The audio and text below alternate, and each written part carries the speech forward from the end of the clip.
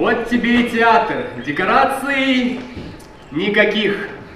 Открываем занавес ровно в половине девятого. И если Заречная опоздает, то, конечно, пропадет весь эффект. А чего это, сестра, не в духе?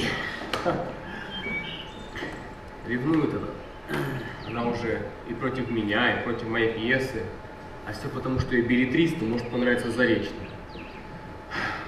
Психологический курьез, моя мать. Бесспорно умна, талантлива, отхватит себе всего Некрасова наизусть. Больных лечит, как Анту.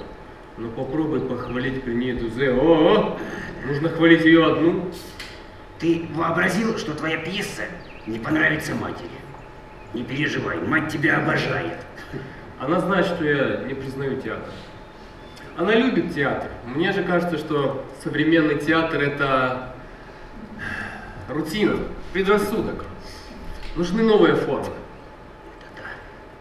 Я люблю мать, сильно люблю. Но она курит, пьет, водится с этим билетристом. Имя ее постоянно треплет в газетах. Меня это утомляет. Я слышу шаги. Я без нее жить не могу. Волшебница, любовь Ты моя. не опоздала? Нет, нет, ни в коем Я случае. так волновалась. Мне было так страшно. Я думала, отец не пустит меня. Нужно звать гостей. Позову, На позову. самом деле, уже пора начинать. Идемте скорее готовиться.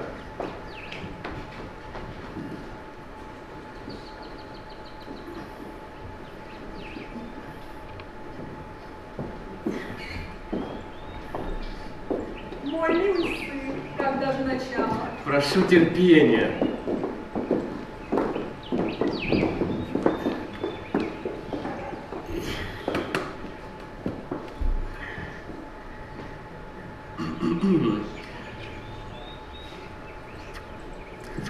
Мы начинаем.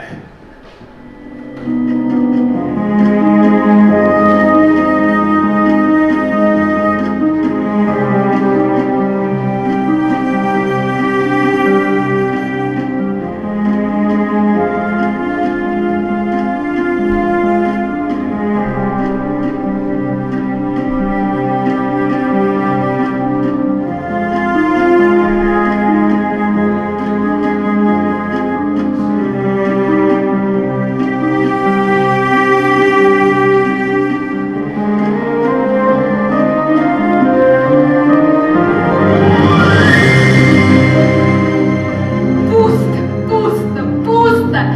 Страшно, страшно, страшно! Тела живых существ исчезли в прахе! Это что-то декадентское. Мама. Я одинока! От меня не закрыто лишь!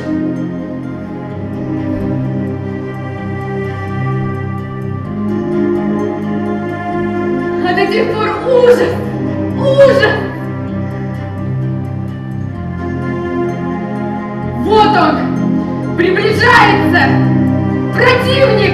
Серой пахнет. Это так нужно? Да нужно. Да, это эффект. Мама. Он скучает без человека! Это доктор снял шляпу перед дьяволом. Пьеса окончена! Довольно! Занавес! Да что же ты сердишься? Я сказал довольно! Занавес! Занавес! Виноват. Я... Что с ним? Игорь, нельзя так, матушка, обращаться с молодым самолюбием. Ну, Он сам предупреждал, что это шутка. И я отнеслась к его пьесе как к шутке. Эти постоянные вылазки против меня и шпильки. Капризный, самолюбивый мальчик. он просто хотел доставить тебе удовольствие. Пусть оставит меня в покое, я не хотела его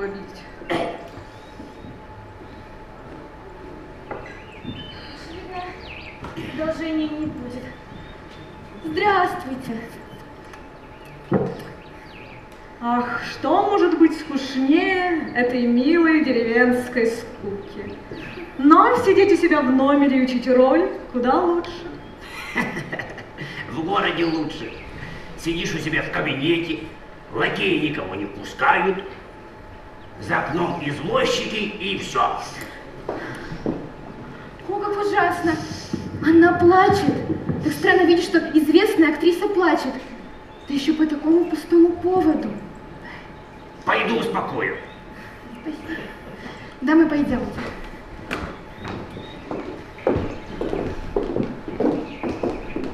Вот уеду и не буду знать, как мой Константин. Горе мне с ним.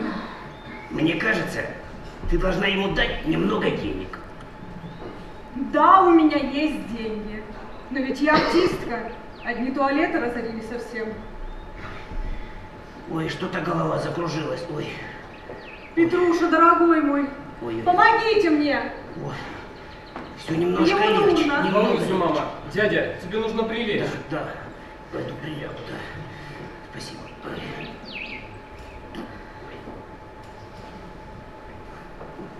Вот мы ссоримся с тобой почти из-за твоего билетриста. Вот он сейчас сидит где-нибудь в саду, смеется надо мной и над тобой, развивает Нину, пытается убедить ее в том, что он гений. Для тебя удовольствие говорить мне неприятности. Людям неталантливым, но с претензиями ничего больше не остается, как порицать настоящие таланты. Настоящие таланты. Не признаю ни тебя, ни его. Декадент, оставь меня! Ты жалкого водевиля написать не в состоянии. Скряга! Оборвешь!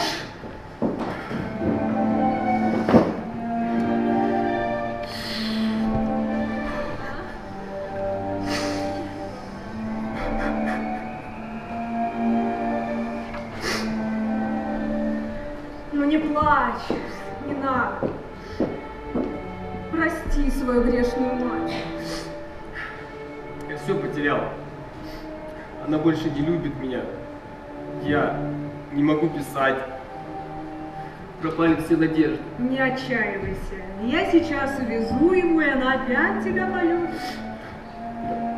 Скоро лошадей подадут. Нужно идти.